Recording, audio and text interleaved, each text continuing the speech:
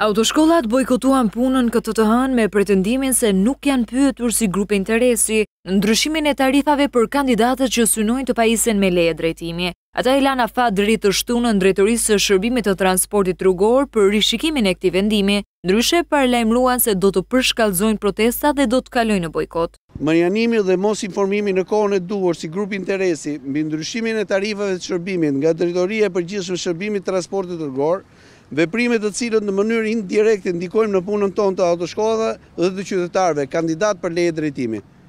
Dy. Zvarritja nga ana e administratës shtetërore.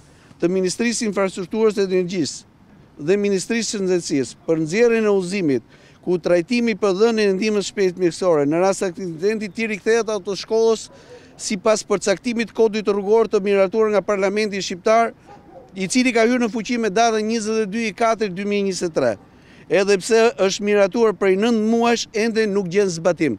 Kjo është një akrobaci, miratim i njëanshëm dhe në fund të fundit sot dikush thotë pagova kaq, dikush pagoi kaq. Ne s'kemi një procedurë.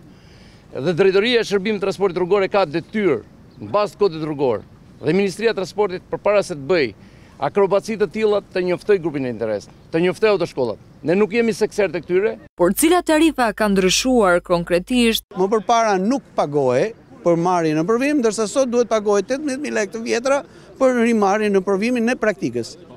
Në qoftë se, në qoftë se ato do të rrëzohen në provimin e teorikës apo do të rrëzohen në provimin e praktikës, tarifat e shërbimit ndryshojnë.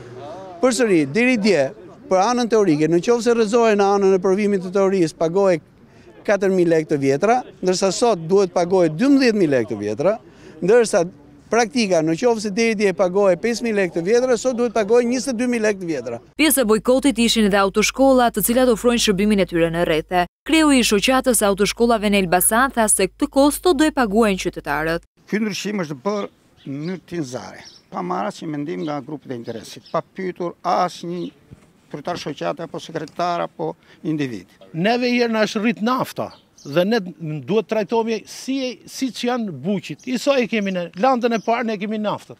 Nafta nuk ka rënë poshtë 200 lekëve. Disa muaj më parë autoshkollat kërkuan edhe rritjen e çmimit të lejes së drejtimit, por ky vendim u pezullua nga Autoriteti i Konkurrencës.